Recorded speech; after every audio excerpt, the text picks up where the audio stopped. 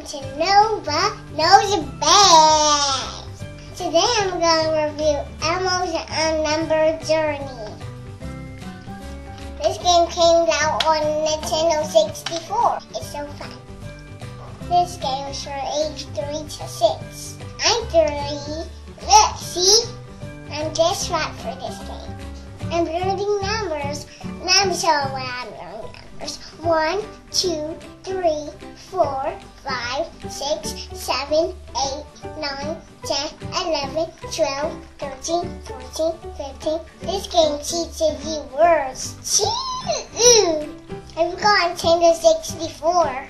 And a kid, my age, I think you should let them play this game. Because uh, Elmo is fun. Everyone from Sesame Street is in this game. Big Bird, Count, Cookie Monster. If you have a kid that wants to learn, this is the great game to get. It's a fun game.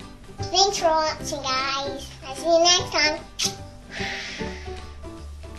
I mean, I was playing this game in my room. Mia was playing and I was playing and Daddy wasn't. He was just picturing me this time to play this. You if, if you want to play this game, come on buy your 64 and play this game. And buy your 64 controller and play this game. But if you don't know what, I'll see you guys next time.